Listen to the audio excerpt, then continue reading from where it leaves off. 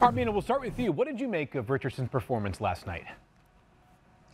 Yeah, well, coming off of the uh, completion percentage over expectation number, I, I think his preseason, his performance last night is such that the numbers, if you're just kind of box score scouting, don't really capture everything he did and did well.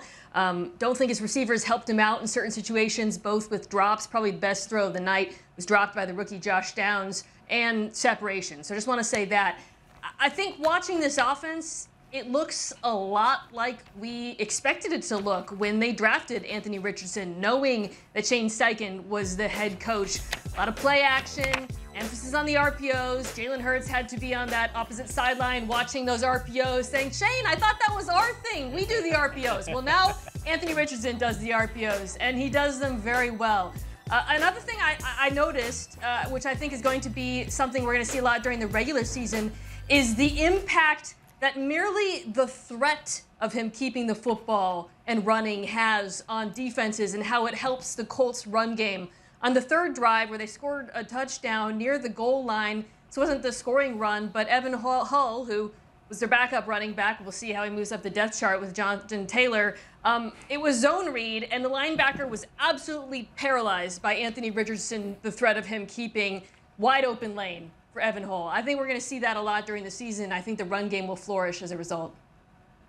Mina, you're absolutely correct to say that we saw a lot of the RPOs and the, the elements of the passing attack that we expect with Anthony Richardson, but something has been missing during the preseason that I feel confident we're going to see come the regular season, and that is the designed quarterback run game. We have not seen very much of that so far with Anthony Richardson in the preseason. Only three as far as I can tell, uh, designed quarterback runs for Richardson, one of which came last night and was 16 yards on a zone arc bluff where they Anthony Richardson read at defensive end, kept the football, and ran for 16 yards. That's going to be an essential part of their offense. We saw it with Jalen Hurts over the past couple years in Philadelphia, and that's going to create both running lanes for the other running backs and play action opportunities and throwing lanes for Richardson as yeah. a passer. Yeah, Bill, I think your your optimism is correct on uh, the, the, idea that he'll run more in the regular season. They know he can run, and, and, there's no reason to, to put him in harm's way and also, you know, take time away from what he needed to work on this preseason. And the stuff he needed to work on this preseason, he still needs to work on, which the Colts knew when they drafted him. But the word I keep hearing out of that building is poise. That he, when they put him in the preseason game the first time, they were impressed with his poise. There were things he did very well, there were things that he did not do so well, but they feel like the latter category he can improve.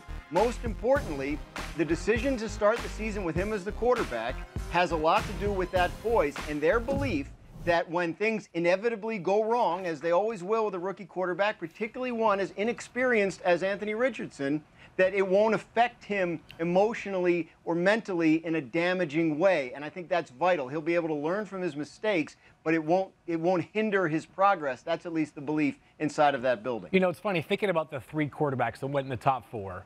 Bryce Young, CJ Stroud played at such dominant levels because of the programs they were in and the team around them it's been an adjustment so far in the NFL in the preseason. Anthony Richardson is like exactly what he was billed as, right? Like immense upside. It's going to yep. take some time. There are going to be some moments that make you shake your head, and there are going to be other moments that make your jaw drop.